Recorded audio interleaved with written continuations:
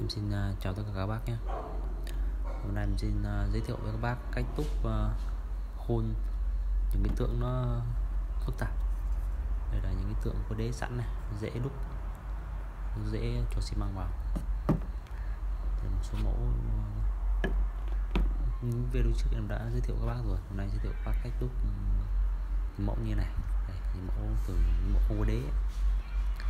Những mẫu rất khó đổ xi măng vào bác à, xem hết video bác like và share ủng hộ kênh em nhé.